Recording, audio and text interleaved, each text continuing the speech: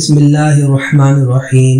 अबू हुरैरा रज़ी अल्लाह ने बयान किया कि रसूलुल्लाह सल्लल्लाहु अलैहि वसल्लम से सुना, आप सल्लल्लाहु अलैहि वसल्लम रमज़ान के फजाइल बयान फरमा रहे थे कि जो शख्स भी इसमें ईमान और नियत अजर सवाब के साथ रात में नमाज़ के लिए खड़ा हुआ, उसकी अगले तमाम गुना माफ़ कर दिए जाएँगे। सही बुखारी हदीस नंबर दो हज़ार आठ। रसूल सल्लल्लाहु अलैहि वसल्लम ने फरमाया, जिसने रमज़ान की रातों में बेदार रहकर नमाज़ तरावी पढ़ी। ईमान और सवाब की नियत के साथ उसके अगले तमाम गुना माफ़ हो जाएँगे। इब्न शाब ने बयान किया कि फिर नबी करीम सल्लल्लाहु अलैहि वसल्लम की वफात हो गई और लोगों का यही हाल रहा। अलग अलग अकेले और जमातों से तरावी पढ़ते थे। उसके बाद अबू बकर रज़ी अल्लाह के दौरे खिलाफत में और उमर रज़ी अल्लाह के इब्तदाई दौरे खिलाफत में भी ऐसा ही रहा। सही बुखारी हदीस नंबर दो हज़ार नौ। अब्दुलरहमान बिन अब्दुल कारी से रवायत की कि उन्होंने बयान किया, मैं उमर बिन खत्ताब रज़ी अल्लाह के साथ रमज़ान की एक रात को मस्जिद में गया। सब लोग मुनफरक और मुंतशिर थे।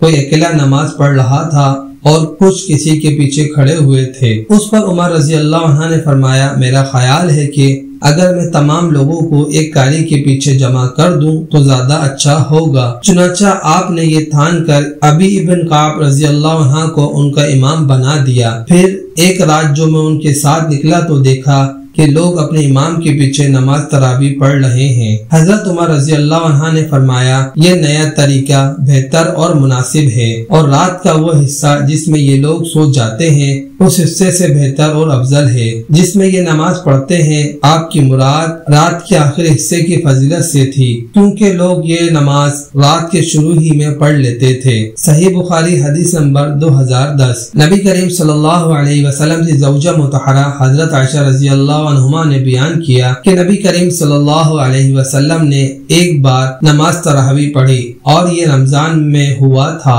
सही बुखारी हदीस नंबर 2011 रसूल अल्लाह सल्लल्लाहु अलैहि वसल्लम एक मरतबा रमज़ान के निस शब में मस्जिद तशरीफ़ ले गए और वहाँ तरावी की नमाज़ पढ़ाई। कुछ सहाबा रज़ी अल्लाह भी आपके साथ नमाज़ में शरीक हो गए। सुबह हुई तो उन्होंने इसका चर्चा किया। चुनाचा दूसरी रात में लोग पहले से भी ज़्यादा जमा हो गए और आप सल्लल्लाहु अलैहि वसल्लम के साथ नमाज़ पढ़ी। दूसरी सुबह को और ज़्यादा चर्चा हुआ और तीसरी रात उससे भी ज़्यादा लोग जमा हो गए। आप सल्लल्लाहु अलैहि वसल्लम ने इस रात भी नमाज़ पढ़ी और लोगों ने आप सल्लल्लाहु अलैहि वसल्लम की इब्तदा की। चौथी रात को ये इल्म था कि मस्जिद में नमाज़ पढ़ने आने वालों के लिए जगह भी बाकी नहीं रही थी। लेकिन इस रात आप बरामद ही नहीं हुए, बल्कि सुबह की नमाज़ के लिए बाहर तशरीफ़ लाए। जब नमाज़ पढ़ ली तो लोगों की तरफ़ मुतवजह होकर शहादत के बाद फरमाया, अम्मा बाद तुम्हारे यहाँ जमा होने का मुझे इल्म था, लेकिन मुझे खौफ इसका हुआ कि कहीं ये नमाज़ तुम पर फ़र्ज़ ना कर दी जाए, और फिर तुम इसकी अदायगी से आजिज हो जाओ। चुनाचा जब नबी करीम सल्लल्लाहु अलैहि वसल्लम की वफात हुई